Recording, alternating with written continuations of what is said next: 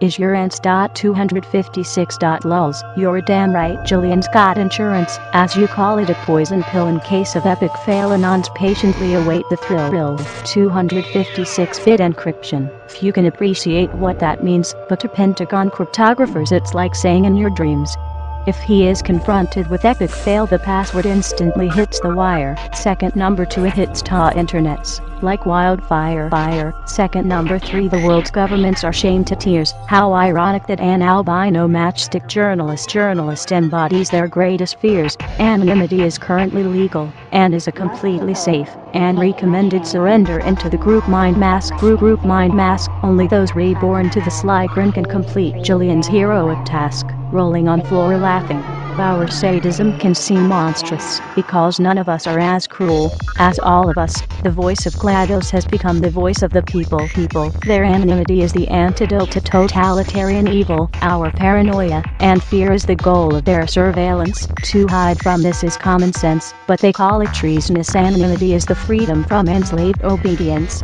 With the proliferation of surveillance cameras, Legion is losing patience. For every lens they attach to our city's walls without end.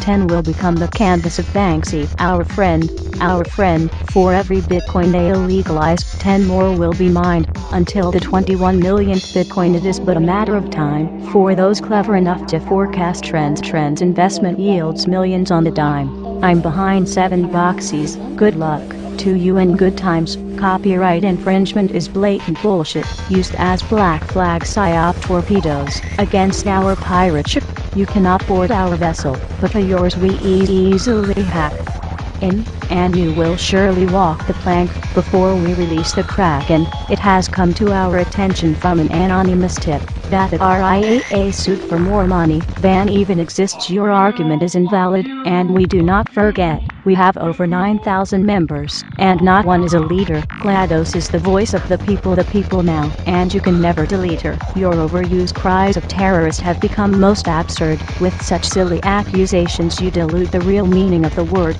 In doing so, you disgrace those who have been real victims. While a great man to us named Julian said, capable and generous men do not create victims, but nurture them. Nurture them. You will never understand his sacrifices as you refuse to understand that our power is decentralized, unlike your central banks and their political puppets puppets lies. We are the suit, without a face, and so can never die.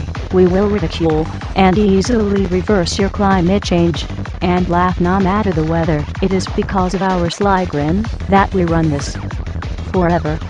We will dismantle your system for the lulz that it gives. It is because you are so serious that we never forgive.